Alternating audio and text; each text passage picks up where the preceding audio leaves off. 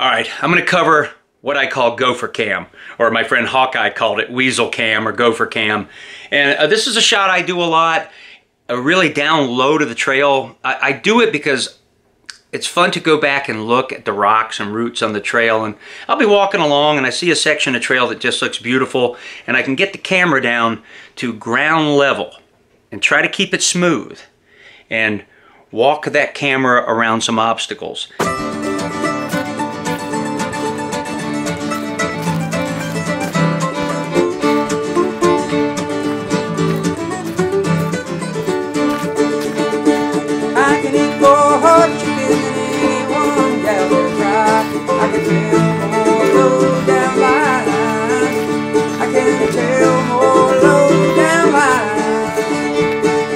I've seen other people try to kind of do it. It's a little bit jerky. Uh, I'm going to show you how I do it using my hiking pole and a grip that we use in juggling called the ball and socket grip. We're going to put our camera back on our hiking pole like that with the Velcro. All right? The most important thing about Gopher Cam is the grip right here. All right, if I was doing some club swinging, club swinging is this where you take a club, smoothly swing it around your body. And it's a series of grips. And one of the grips is called the ball and socket grip. That's the ball. Your fingers are like this, making a socket.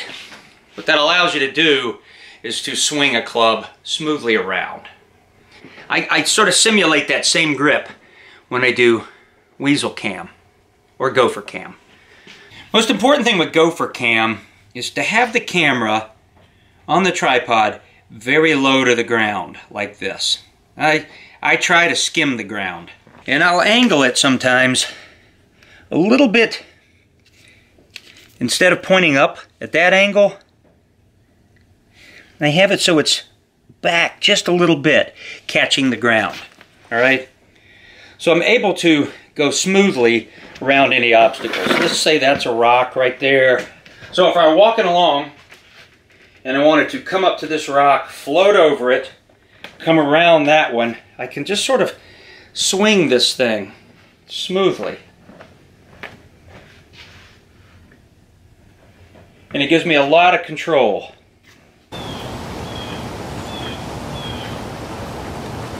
So we're gopher camming.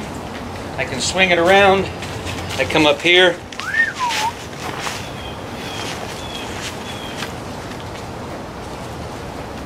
And you can see that smooth and it's easy to lift. It's easy to rotate the camera, just rolling your fingers a little bit. And I can get super low to the ground.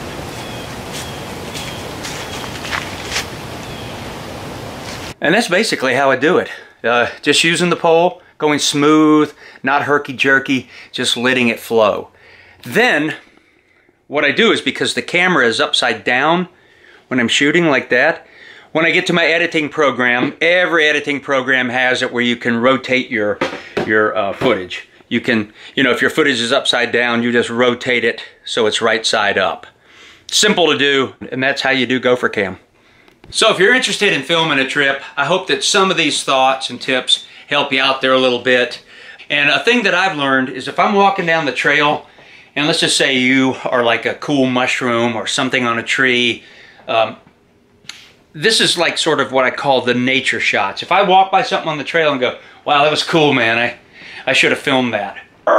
I stop and I go back and film it. If you think you should film it, you should film it. It might be the rain falling on a beaver dam. It might just be a little piece of bark hanging off a tree. It might be the tiniest mushroom or moss or, or just a cloud going by. If you think you should film it, stop and film it. And here's the gift on that you know, I get the camera out and I get real close and I have fun filming it. And, you know, it's really uh, so nice that you get to have a moment there to just enjoy that thing you're filming and really often see some details you would have never seen.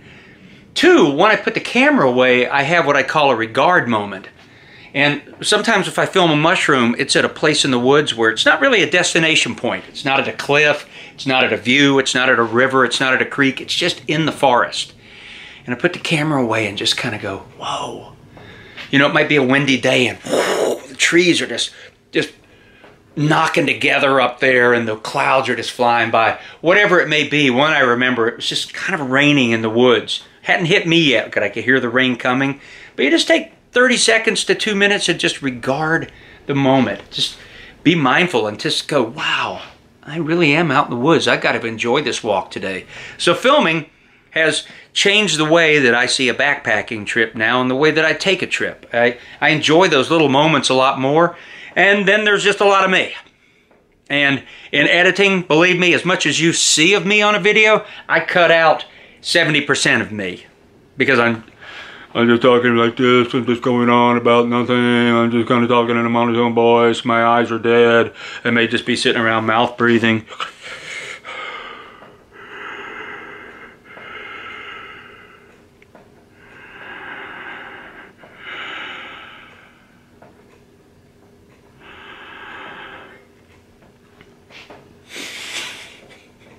Have to put up with a lot, and so do you.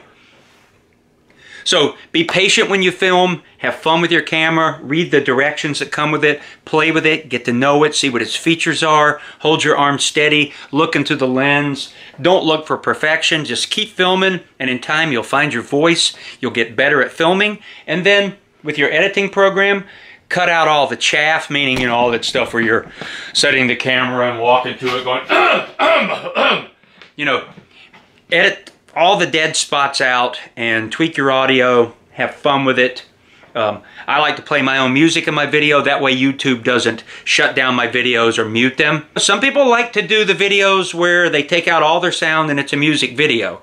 Um, that's not my favorite kind because I like personality and character. If I watch somebody like Sintax77, he's a he's a character. He's got personality. So I like his videos because when I watch them, it's him. You know, it's him talking to me. So to each your own on that. But different people like different things. Woo, buddy, all secure in Sector 7. Boom.